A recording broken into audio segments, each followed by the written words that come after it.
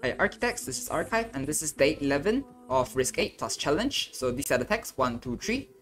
Go in, pick two of our favorite snipers, uh, Element Medic, Nightingale with the module, and Thorns. Very simple, let's go in.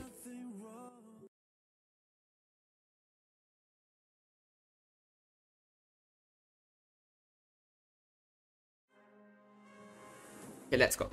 So start off with the taunts, it's 20, so you have enough to put. And you can see 20, so put. Now your strongest sniper, your strongest sniper here. Strongest here, um, the bigger one here. Uh, you remember to use the skill. Bigger one here, facing the bottom side.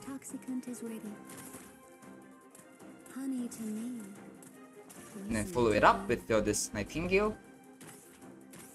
Facing the top side.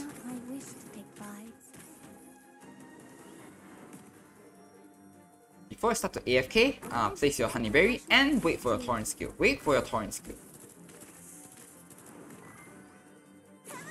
So, with this placement, uh, this Exusiai, uh, no need to be Exusiai. Any sniper can do.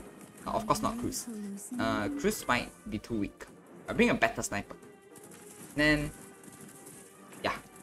So basically, uh, remember to use the Torrent skill one more time, and then you can see that all of the three DPS we have here are all covered within the range of our medics.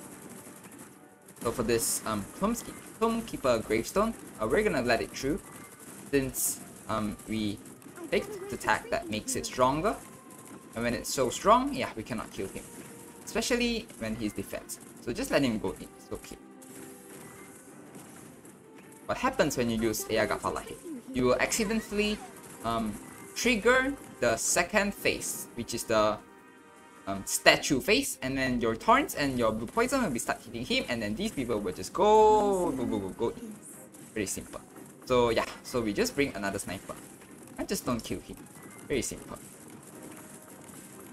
If you accidentally kill him like this, and yeah, accidentally kill him, it's okay. Since with the two snipers, uh, he's just gonna get killed very close near to the blue door. So this means that our taunts, the damage of our taunts won't be spreaded, won't be focused on this guy, and then causing this two to leak. Okay, very simple, and basically this is it. Thanks for watching, and I hope it helps.